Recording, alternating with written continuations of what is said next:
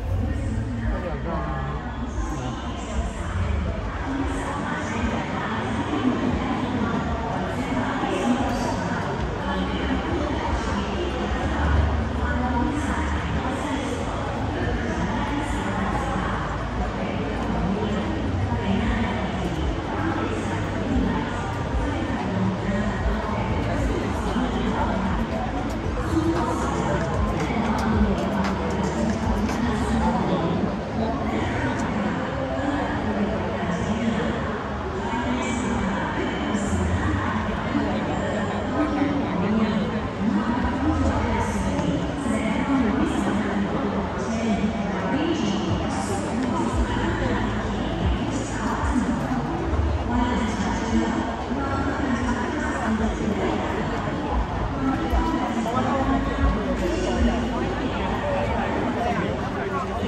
video hấp dẫn